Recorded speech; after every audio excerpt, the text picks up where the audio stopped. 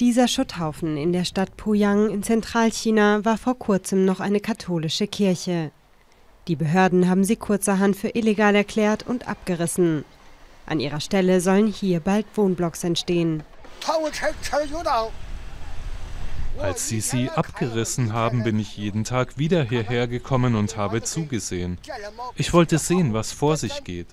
Viele Gemeindemitglieder kamen her und haben sich hingesetzt und geweint.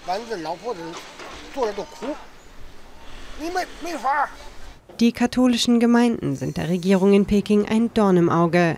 Nicht nur wegen der Grundstücke, auf denen sich die Kirchen befinden.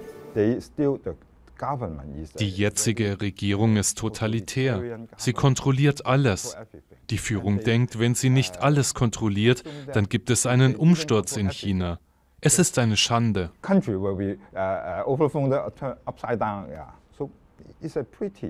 Zuletzt wurde es Minderjährigen verboten, Kirchen zu betreten.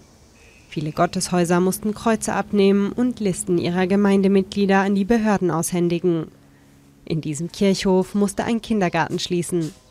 Zahlreiche Gläubige treffen sich nun in Untergrundkirchen wie dieser. Dabei laufen seit Jahren Verhandlungen zwischen der chinesischen Regierung und dem Vatikan über die Wiederaufnahme der 1951 abgebrochenen Beziehungen.